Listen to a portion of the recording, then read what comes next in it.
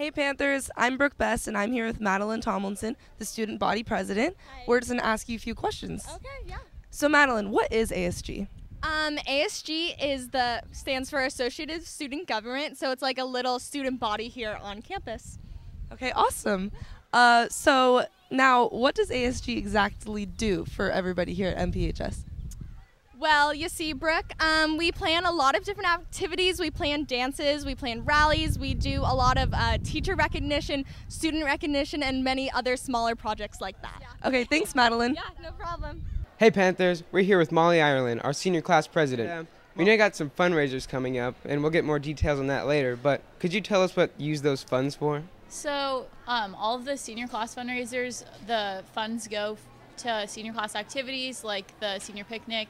Um, our biggest fundraiser right now is the senior T-shirts, but that sale ends on Friday. So, All right, well there you have it. Here's Sarah Whitwell with the junior class president. Thanks, Mikey. And I'm here with Luke Kreger, our junior class president. So, Luke, can you give me an, any information about what your role is as a junior class president?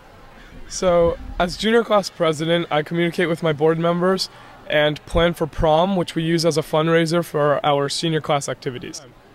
Okay, thank you. Now off to TL with our sophomore class president. Hey Panthers, I'm here with Nicole Katz and Alexandra Jones. So, Nicole, tell us about the roles of being a freshman and sophomore president. Well, as freshman and sophomore president, we basically, through creative and unique ways, we raise money. So, you can be looking forward to Valentine's Day grams, and freshman class will be doing Panther Matchmaker. Um, and there'll be many other different fundraisers this year that we're excited to try out for the first time. Amazing. Alexandra, what will the funds that you raise be for? So all the funds that we make from our fundraisers are going to go towards our senior year, and so um, in senior year we can use these for a really cool prom and other fun things that we can do to make our senior year really great. So the more money we make, the more fun we'll have for our senior year. All right, there you have it.